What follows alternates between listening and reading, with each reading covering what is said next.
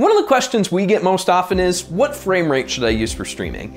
There are a lot of options and a lot of reasons for using different options, both from a technical and stylistic point of view. In this video, we'll go over what frame rate actually means, why there are so many different options, and some things to keep in mind as you make your decision. So you've set up your camera, your streaming software, your encoder, and you're ready to go live. First though, you're most likely presented with a choice in your camera and encoding settings for your choice of frame rate. So what is frame rate? Frame rate, often abbreviated as FPS, measures the speed that individual images or frames are captured and displayed to form a continuous video.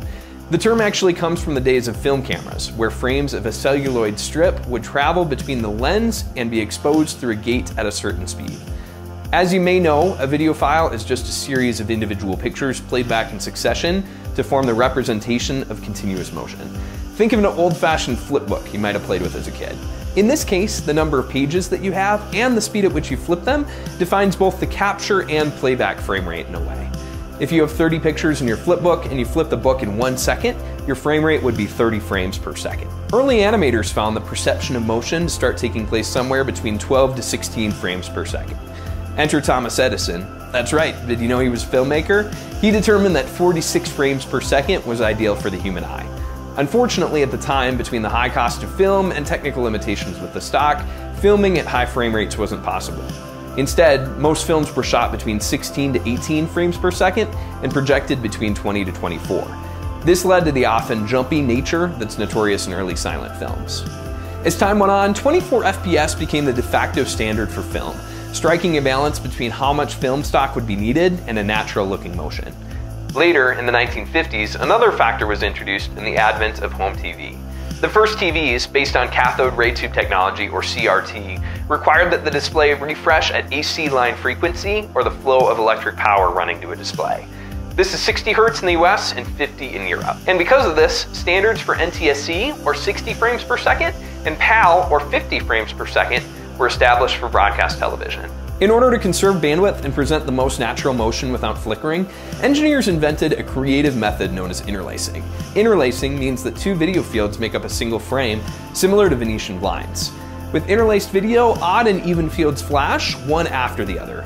For example, with video filmed at 60i or interlaced, you're watching a half frame every 160th of a second and a full frame every 130th of a second. Progressive scan, on the other hand, means that each frame is displayed in its entirety sequentially, consuming double the bandwidth but providing for a much cleaner image. Generally, this is captured as either 30 or 60 frames per second. While interlacing was helpful for broadcasts for many years, even standard practice up to the mid 2000s, progressive scan has quickly become more popular as displays such as LCD and OLED have replaced CRTs. So that brings us to today. 24 frames per second continues to generally be the standard for cinema, while 30 and 60 are used for broadcast. However, with the latest in digital capture and playback technology, videographers can break free from typical conventions and record in whatever frame rates are most suitable for their desired style. While the three most common rates, 24, 30, and 60, are characteristically displayed as whole numbers, you might also be familiar with seeing them represented as decimals. Dang, do we really need to get math involved here? That's right. As color broadcast TV replaced black and white, a very slight slowdown was required in the way that frames are measured in order to display effectively on older systems and prevent issues with sound. This is referred to as drop frame measurement and doesn't affect the visual image in any way, but is why you might see video frame measurement described as 23.98, 29.97, or 59.94 instead of whole numbers. So now that you know the history of frame rates, let's talk about how to choose between them for video. As we mentioned before, you have the creative liberty to determine both the frame rate at which your video is captured and displayed.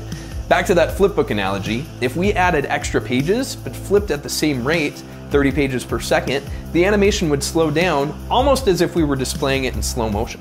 That's why typical slow-mo shots are filmed in frame rates like 120 FPS, but played back at 30 or 60. However, if we flip faster, the animation will appear in a normal speed, but it'll have smoother motion overall because more frames of it are displayed. In practical purposes for streaming, you should always try to make sure that your display frame rate, or what you actually have your streaming software or your encoder set to, matches the input frame rate of your devices. For example, if your cameras are set to 1080p 60, your encoder should be set to stream at 1080 resolution at 60 progressive frames per second. From there, it's all about the style that you're going for and the amount of bandwidth that you have available to use. Your frame rate is a part of a larger equation that considers the bit rate and the resolution of the cameras, both of which we'll get into in other videos. If you have limited bandwidth or CPU processing, it might be worth limiting your frame rate to 30 instead of 60 for instance, to make sure that frames don't need to be discarded or dropped due to the inability to process them or transmit them in time. Using a technology like Resi can also come in handy, which transmits on a short delay through Resi's resilient streaming protocol to ensure that every frame makes it to the destination perfectly without dropping, even on troubled internet connections. Most of the time, we would recommend starting at 30. This strikes a good balance between natural motion of what most are accustomed to seeing and not being too intensive on yours or your viewer's connection. If you're streaming a faster event like a race, sports event, or a dance competition, a higher frame rate will give your audience the best viewing experience with the smoothest motion. And if you're looking for a more cinematic, dreamlike visual appearance for your stream, consider using 24 FPS. Many churches and live music concerts, for example, like to use 24 FPS to achieve a more film-like experience with their broadcasts, usually in tandem with using cinema lenses and cameras like the Canon C300 or VariCam. This is where a new tool called VFR, or variable frame rate, can also be beneficial, which adds a third element to the equation. Within the camera, a frame rate is captured, but packaged into another output frame rate, which the camera then passes to the video switching infrastructure. This allows camera operators to dynamically choose between styles while maximizing compatibility with the system and can be used to record in multiple looks within a single stream. For example, using a cinematic style for music and a more natural, full motion look for speaking elements. We spoke to our friends at Summit Integrated Systems, who specialize in video system design for major house of worship venues around the world, about their recommendations when installing video streaming systems to achieve the style and goals that their clients are looking for. Frame rate, you know, plays a couple of big roles. One is more of a creative role. It's like, how do we want that image to look? Um, you know, whether we're more in that kind of very cinematic style or what we'd associate as being a cinematic style, or the other end of like a, more kind of a broadcast style of shooting. Um, so while it plays a creative function, it also plays a technical or a system foundation. It's, it's how the video system is measuring time. And as we kind of talk through a lot of other things, you know, like processing delays, things like adding uh, latency, a frame in a 5994 um, has is much shorter, meaning it introduces much less latency um, you know, than a video system set up in 2398. Often when uh, devices talk about adding a frame of delay, that frame is a frame and you know how long that's actually going to take is always going to be determined by the actual frame rate of the system itself. To use an example of like a, a cinema camera, by default, a lot of them might add something like five frames of processing delay, which is the moment, you, you know, from the moment light hits the sensor to the moment it leaves, you know, that SDI spigot, it's going to add five frames of latency. Um, and in a system that's timed around, you know, 24 frames a second, for, for example, um, that equates to a really significant delay. So often when we're coaching a customer on selecting a frame rate for the system, we're really looking one at the camera, what's that going to add, and two, like what's the desired outcome um, or what's the desired environment. If we're shooting in live services, obviously our goal is to keep that latency, that number down as low as possible. Um, and that's where like a great feature like variable frame rate comes in. Um, most cinema cameras now will give us the option to function in a in, in like a 5994 environment, um, but give you that you know 24 frames a second look. And where that's really powerful is if the cinema camera is going to add again those five frames of uh, processing delay, well in a, in, a, in a 5994 environment, that equates to a lot less time. So often when we get a customer coming to us who wants to um, get uh, more of a cinematic style, more of a cinematic look um, to their services, um, one of the options that we look at is uh, the variable frame rate feature, um, which you find on a lot of cinema cameras.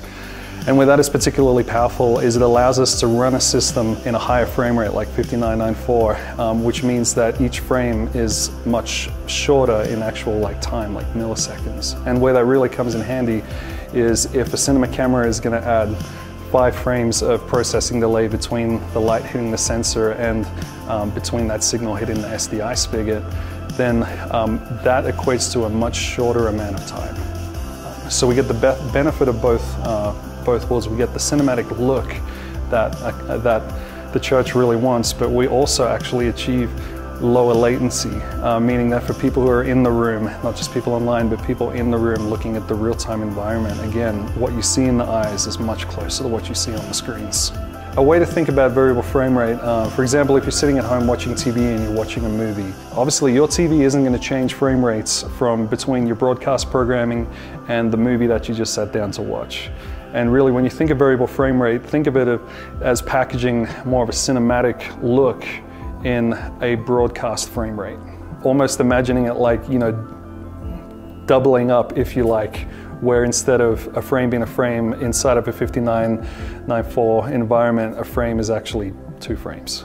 But in essence, um, it's kind of like cheating a little bit where um, we get the look of um, a lower frame rate in a higher frame rate um, environment.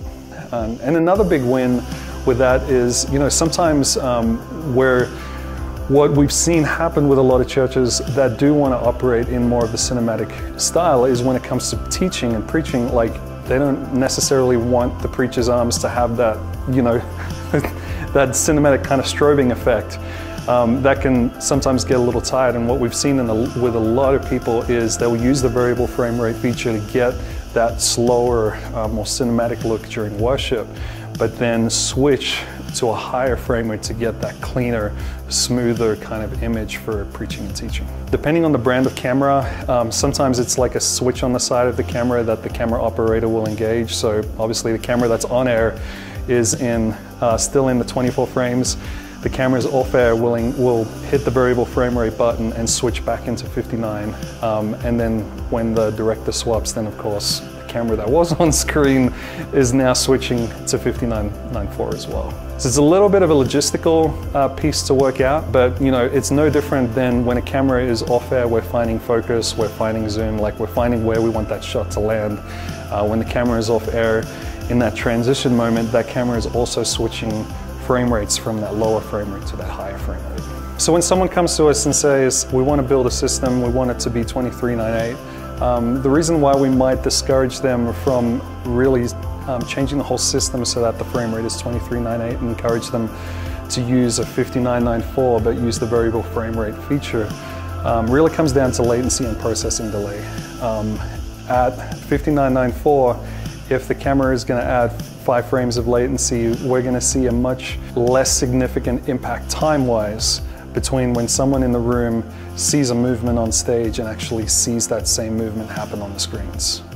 Um, in a mixed environment, like, and by mixed environment, I mean both a hybrid of live and broadcast, um, really our goal is to get that image from the lens to the screens as quickly as possible. So when, uh, when an organization comes to us and is asking uh, questions about frame rate and what kind of frame rate should they operate in, um, I'd say there's probably many things that we'd, we'd have to um, take into account to really kind of give that kind of advice.